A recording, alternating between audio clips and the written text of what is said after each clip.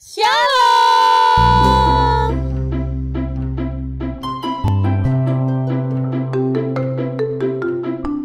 Hai adik-adik semua, bagaimana kabarnya hari ini? Semoga sehat-sehat semuanya. Hari ini kita akan sama-sama beribadah kembali. Kita mau memuji Tuhan bersama, mendengarkan firman Tuhan bersama dengan Kaleli dan Kak Ola. Hari ini kita juga diiringin sama kakak-kakak ganteng sebelah sini. Ada Kak Riki dan Kak Andra. Yeay. Oke, sebelum kita mulai apa yang harus disiapkan Kak? Oh iya, kita adik-adik harus nyiapin Alkitab. Alkitabnya dibuka. Kita mau buka Matius 9 ayat 18 sampai 26. Adik-adik buka Matius 9 sa- ayat 18 sampai 26 ya. Alkitabnya dikasih tanda nanti kita akan baca. Oke, kalau semuanya sudah siap dengan Alkitab, kita mau berdoa dulu. Siapkan hatinya, lipat tangannya, kita akan berdoa. Iya. Mari adik-adik kita berdoa. Ya Bapa yang Maha Pengasih dan Penyayang, terima kasih atas berkat-Mu selama hari ini ya Tuhan. Sebentar lagi kita akan beribadah bersama, ber- memuji Tuhan dan mendengarkan firman Tuhan. Kiranya Engkau berkati acara eh, ibadah hari ini ya Tuhan dari awal sampai akhir agar berjalan dengan lancar. Terima kasih ya Tuhan dalam nama Tuhan Yesus kita telah berdoa. Amin. Amin. Hari ini kita mau memuji Tuhan karena Tuhan itu baik dalam hidup kita. Betul kalau Betul banget. Walaupun pandemi ini tidak selesai-selesai, Tuhan tetap baik. walaupun kita masih harus sekolah online, Tuhan tetap baik. walaupun habis ini liburan, tapi nggak bisa pergi ke mana-mana. Tuhan tetap baik. Wah, karena Tuhan itu baik, kita mau sama-sama memuji Tuhan, menyanyikan lagu Tuhan, Tuhan Yesus baik. Musik.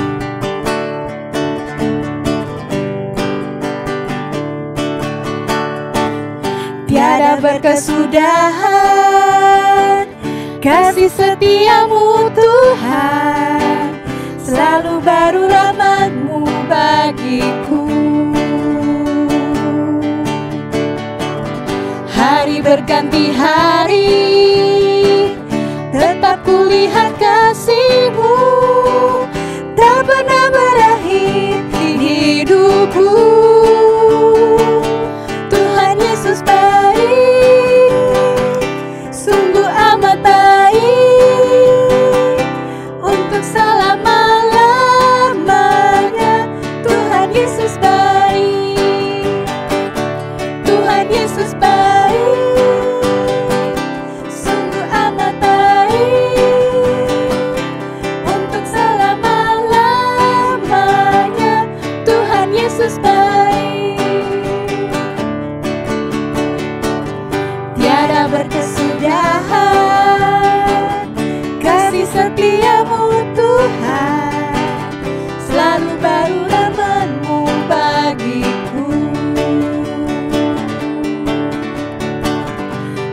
berganti hari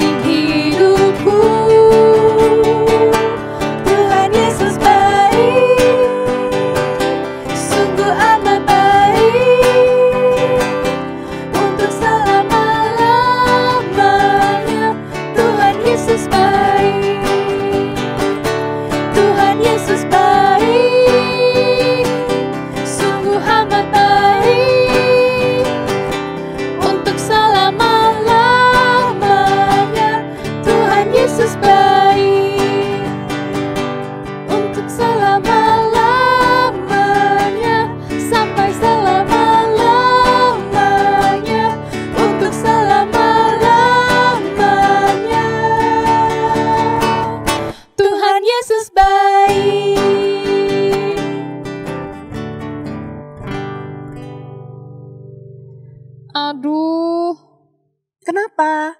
Kak, aku pusing. Lu pusing kenapa, Kak? Pusing banget. Aku udah pulang sekolahnya sore, Hmm. banyak PR, besok ulangan. Aduh, Kak, aku udah gak sanggup. Waduh, Memang ya, kalau kita harus mengerjakan semua sendiri rasanya gak sanggup.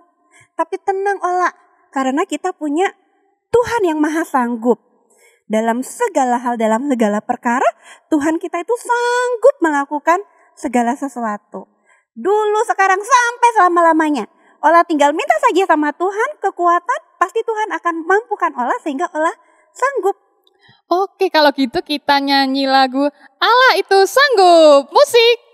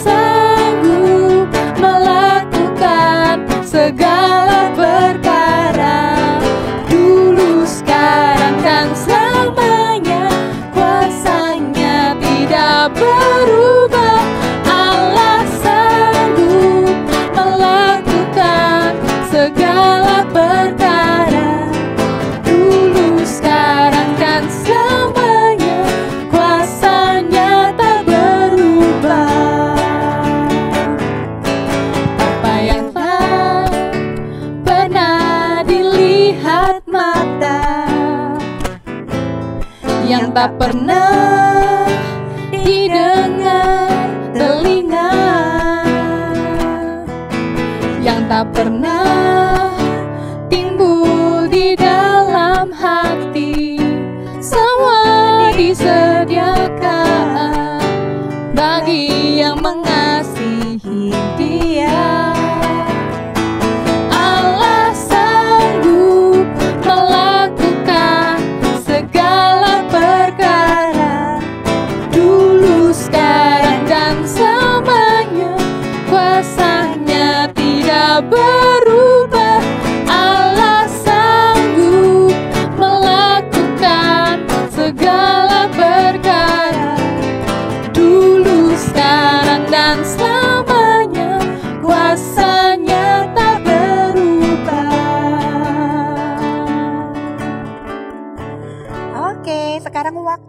buat kita untuk mendengarkan firman Tuhan dan merenungkannya bersama-sama.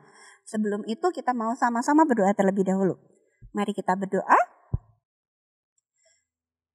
Bapa di surga, kami mengucap syukur karena kami dapat bersama-sama beribadah kepadamu pagi hari ini. Kami saat ini siap untuk mendengarkan firman-Mu. Kiranya roh kudus sendiri yang boleh tinggal di dalam hati kami. Menolong kami supaya kami dapat memahami apa yang Tuhan ingin ajarkan kepada kami. Apa yang Tuhan ingin sampaikan dan apa yang Tuhan ingin kami lakukan di dalam hidup kami. Terima kasih Tuhan, berkati pula Kak Ebin yang akan menyampaikan firman-Mu. Di dalam nama Tuhan Yesus kami sudah berdoa. Amin. Amin Lalu, apa yang harus dilakukan sekarang Kak? Sekarang adik-adik buka Alkitab yang sudah Ah. disiapkan tadi. Ya, Alkitabnya dibuka dulu. Alkitabnya dibuka dulu, kita mau baca, kita dibacakan sama eh, salah satu teman dari kita. Kita dengarkan sama-sama ya. Kita dengarkan sama-sama ya. Matius 9 ayat 18 sampai 26. Sementara Yesus berbicara demikian kepada mereka, datanglah seorang kepala rumah ibadat, lalu menyembah dia dan berkata, Anakku perempuan baru saja meninggal, tetapi datanglah dan letakkan tanganmu atasnya, maka ia akan hidup. Lalu Yesus pun bangunlah dan mengikuti orang itu bersama-sama dengan murid-muridnya. Pada waktu itu, seorang perempuan yang sudah 12 tahun namanya menderita pendarahan maju mendekati Yesus dari belakang dan, menyam, dan menjamah jumlah jubahnya karena katanya dalam hatinya, asalku jamah saja jubahnya, aku akan sembuh. Tetapi Yesus berpaling dan dan memandang dia serta berkata, Teguhkanlah hatimu, hai anakku, imanmu telah menyelamatkan engkau. Maka sejak saat itu, sembuhlah perempuan itu. Ketika Yesus tiba di rumah kepala rumah ibadat itu, dan melihat peniup-peniup seruling dan banyak orang ribut, dan orang banyak ribut, berkatalah ia, pergilah karena anak ini tidak mati tetapi tidur. Tetapi mereka menertawakan dia. Setelah orang banyak itu diusir, Yesus masuk dan memegang tangan anak itu, lalu bangkitlah anak itu. Maka tersiarlah kabar tentang hal itu ke seluruh daerah itu. Kakek, kakek, Bobby datang nih. Wah, cucu kakek udah datang. Sini, sini masuk. Kakek, aku seneng banget deh. Karena liburan kali ini tuh lama banget. Kita mau ngapain aja nih kek pas liburan? Hmm, sebentar. Ha, kakek tahu. Kita akan menanam pohon aja besok. Gimana? Menanam pohon? Wah, siap kek. Kita menanam pohon besok. Nah, tapi kita harus beli bibitnya dulu nih. Kita belanja yuk besok. Belanja ke mana kek? Ke pasar tumbuhan dong. Oke, siap. Nah, adik-adik, Bobby itu suka banget jalan-jalan sama kakek. Ke kebun, ke taman, ke pasar tumbuhan, ke mana aja sama kakek selalu menyenangkan buat Bobby. Nah, tempat favoritnya Bobby itu salah satunya adalah pasar tumbuhan. Nah, besok hari teman-teman, pagi-pagi jam 5, Bobby itu udah semangat sekali untuk ikut kakek. Mereka pergi berangkat naik sepeda. Nah, dulu ketika kelas 3 SD, kalau Bobby lagi liburan sama kakek, Bobby selalu dibonceng sama kakek. Tapi karena sekarang Bobby sudah besar, Bobby diizinkan untuk mengayuh sepedanya sendiri. Nah, di pasar tumbuhan ada berbagai macam tumbuhan. Ada yang sudah berbuah, ada yang masih biji, ada yang masih baru ke, uh, ada tunasnya sedikit. Nah, ada bermacam-macam tumbuhan di sana. Mereka berjalan di sepanjang pasar sambil melihat-lihat. Nah, kakek menunjuk satu toko kecil di sebelah kiri sebagai isyarat kalau mereka akan masuk ke toko itu. Halo kek, wah sudah lama ya kakek nggak ke sini? Iya nih, kenalkan sini-sini. Ada satu cucuku, namanya Bobby. Bobby ini uh, teman kakek salah satu toko langganan kakek membeli banyak tanaman. Namaku Bobby. Wah, Bobby, sini-sini masuk-masuk. Lihat-lihat ya, uh, Om punya banyak tanaman di sini. Sebenarnya kek, aku ambilkan pesanan punya kakek. Oke, oke. Diambillah tanaman yang sudah dipesan sama kakek. Ini kek tanamannya. Wah, sudah ada tanamannya. Siap, Aku ba aku bawa ya ke rumah. Terima kasih ya. Kek, kek, kek, kek. Itu pohon apa sih? Ini namanya pohon trembesi. Pohon yang akan kita tanam hari ini. Oh, trembesi ya. Apa ya? Udah, nanti aja kita lihat uh, kalau sudah besar. Sekarang kita tanam dulu aja. Oke, kek, siap. Wah, mereka kembali mengayuh sepeda uh, sepanjang jalan Bobby mengiranya bahwa mereka akan pulang ke rumah adik-adik. Tapi ternyata bukan. Ketika mereka mengayuh sepeda tiba-tiba kakek berbelok arah. Bukan ke arah rumah. Bobby bingung. Mau ke mana ya? Bukannya mereka mau menanam pohon di rumah. Hmm, bukan, bukan. Ah, ikut aja deh. Ketika mereka sudah mengayuh dan mengayuh, Bobby menyadari bahwa mereka sedang menuju ke gereja adik-adik. Wah, ternyata benar. Kakek memarkir sepedanya di depan gereja. Bobby bertanya, Kek, kenapa ke gereja sih? Kan kita mau menanam pohon, Bobby. Kalau pohon, khususnya pohon terbesi, itu harus ditanam di tempat yang luas. Oh alah, aku kirain mau ditanam di rumah, kek.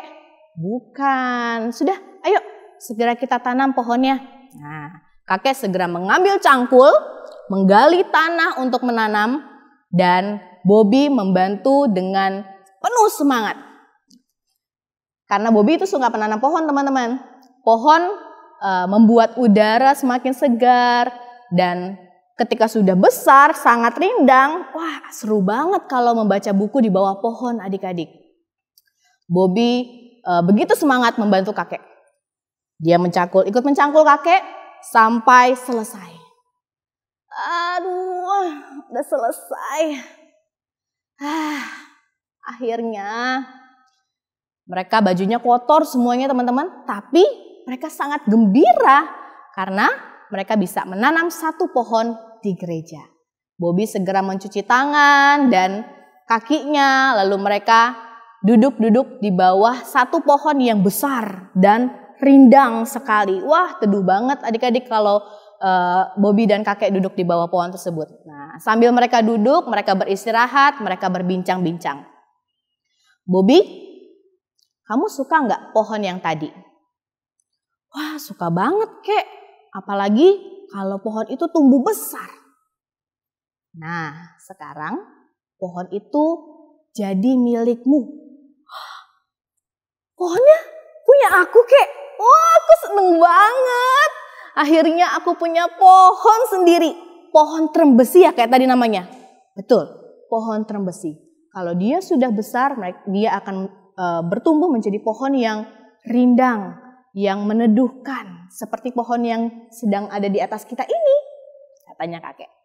Nah, pohon yang jadi tempat kita berteduh ini, Bobby, juga dulu kakek tanam dari kecil sampai besar sekarang. Saat pohonnya mungkin masih berusia seperti kamu, kata si kakek.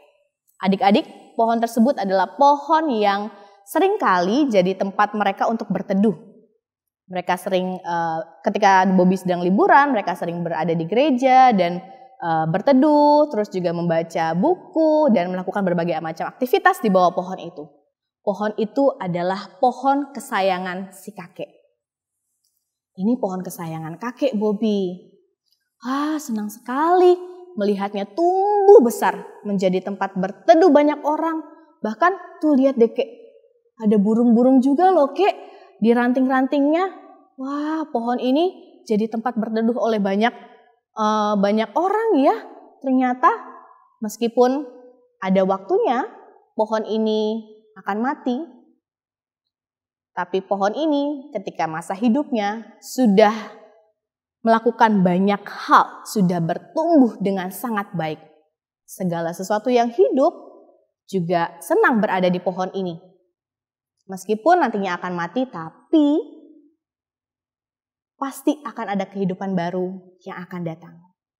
Bobby, kamu tahu nggak siapa yang bisa menumbuhkan pohon sebesar ini? Pasti kakek lah. Kan kakek yang menyiram pohonnya setiap hari. Bukan.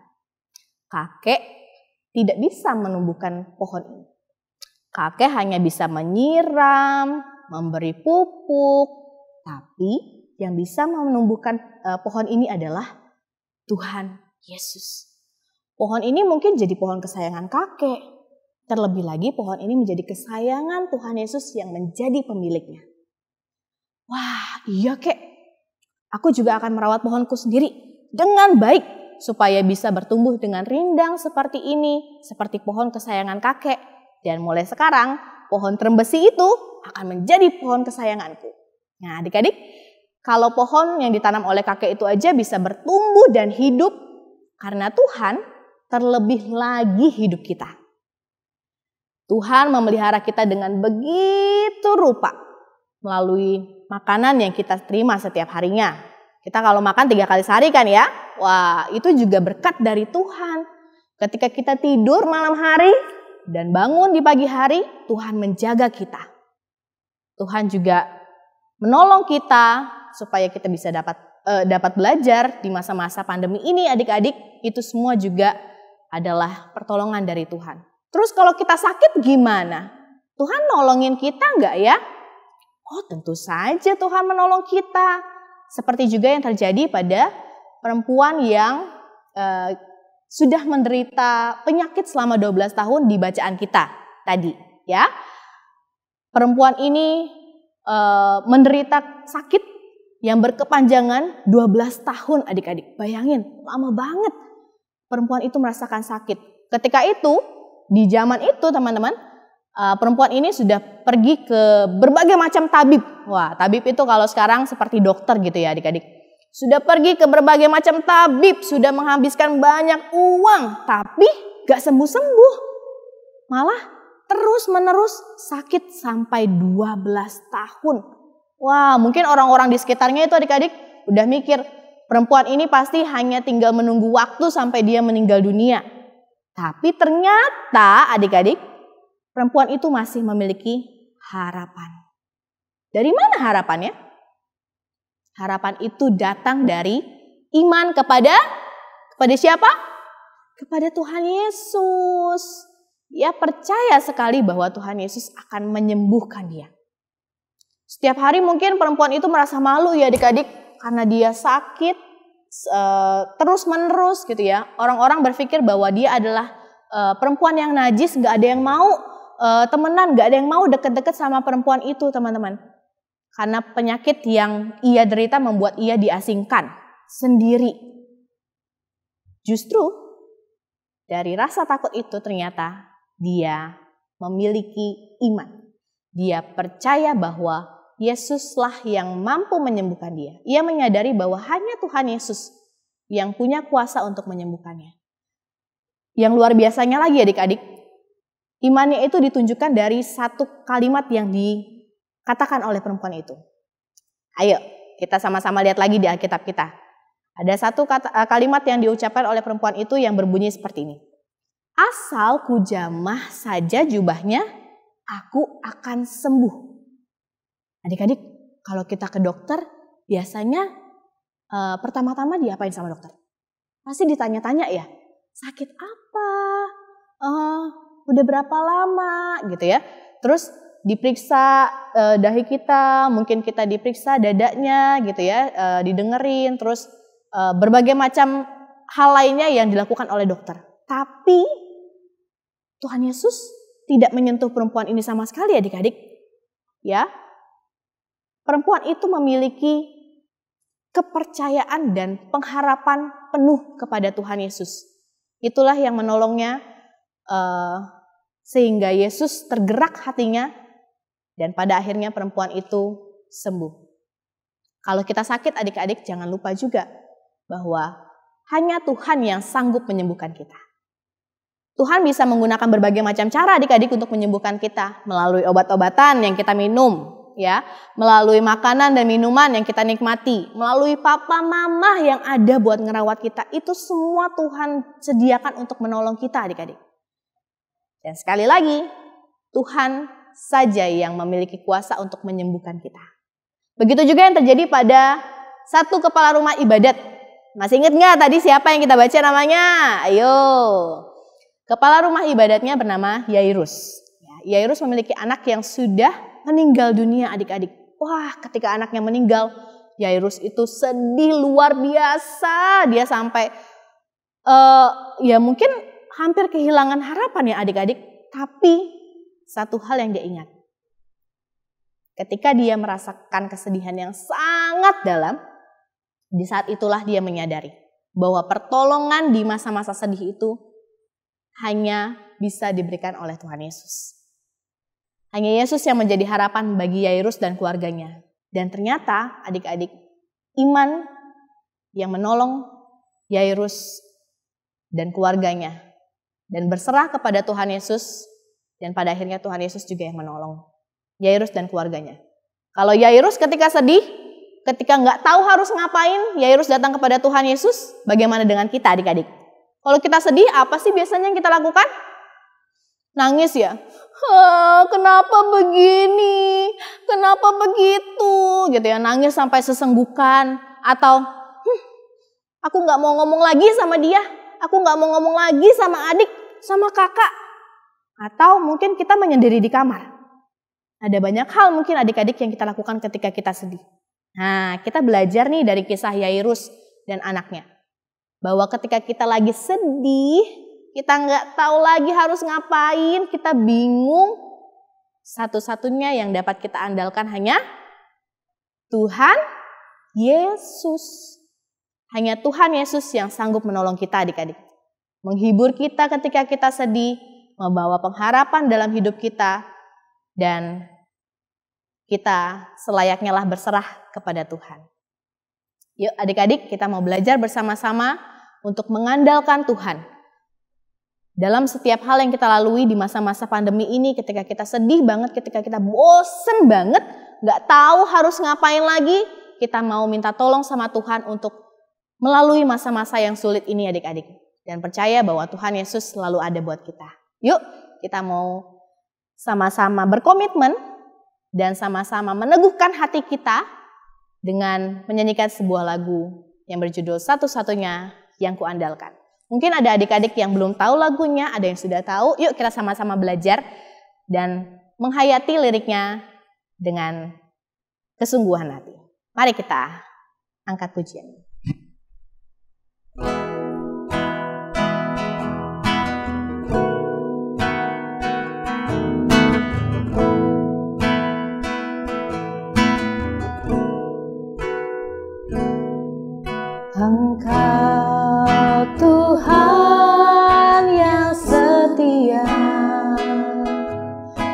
Waktumu selalu yang terbaik.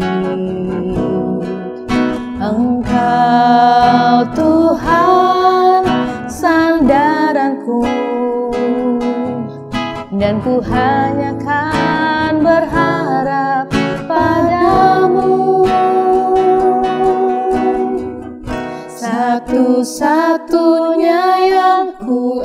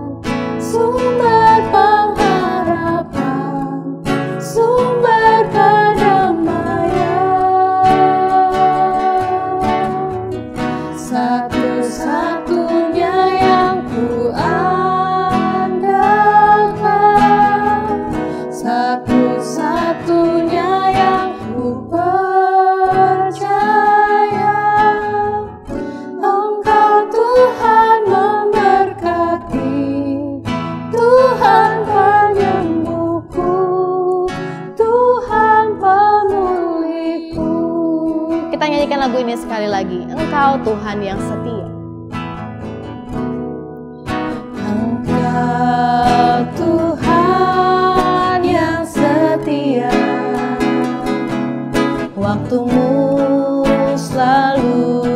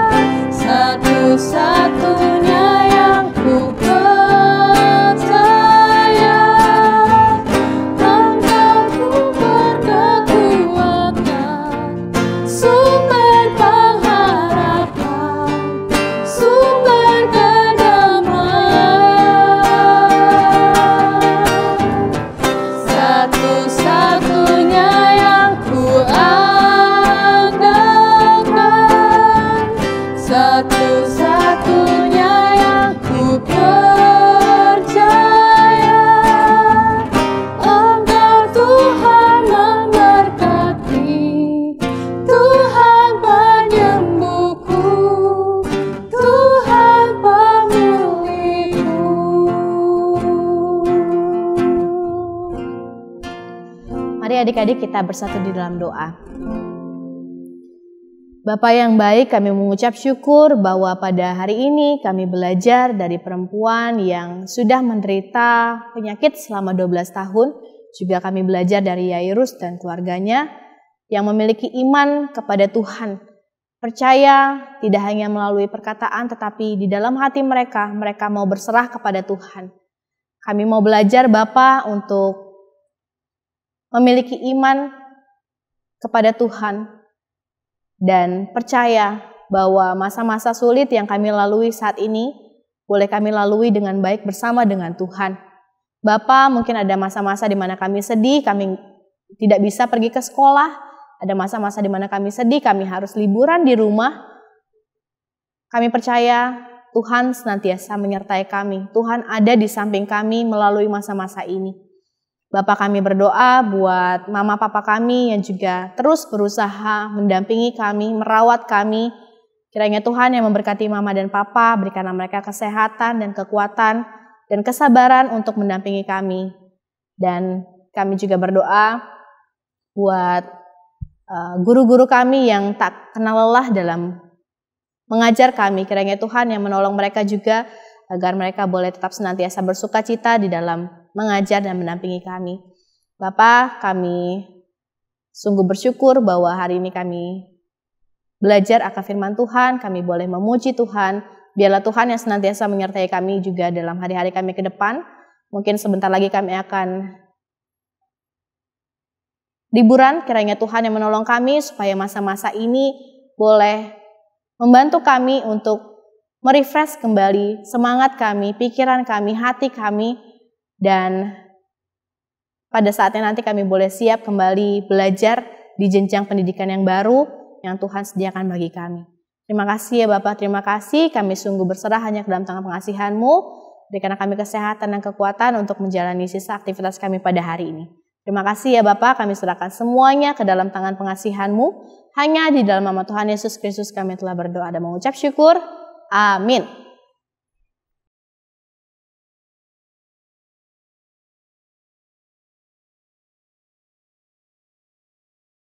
Nah, ibadah kita sudah hampir selesai. Tadi kita baru saja mendengarkan firman Tuhan yang disampaikan oleh Kak Ebin. Jadi hari ini kita belajar apa Kak Ola? Hari ini kita belajar untuk selalu mengandalkan Tuhan dalam keadaan apa pun dan Tuhan selalu menyertai kita semua.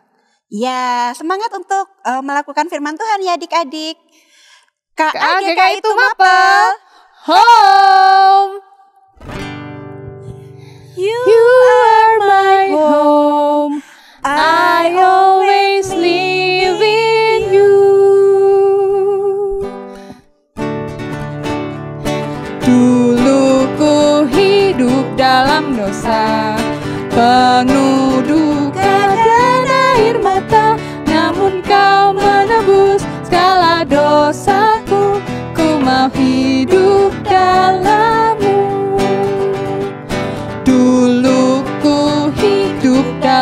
dosa Penuh duka dan air mata Namun kau menebus segala dosaku Ku mau hidup dalammu.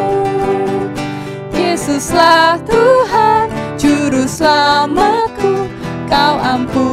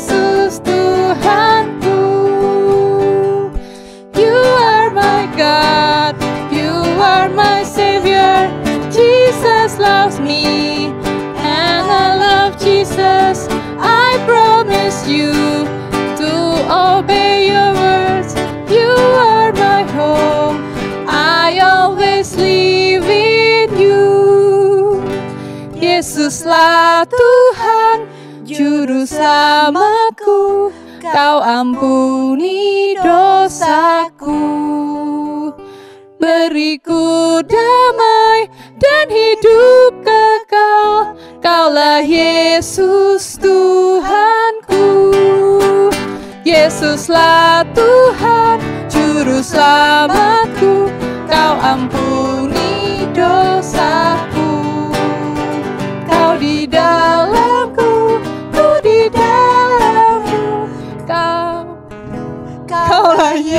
Yesus Tuhanku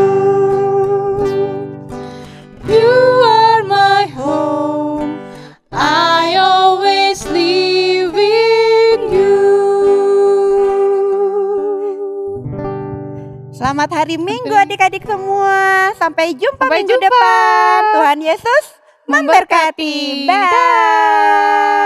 Bye.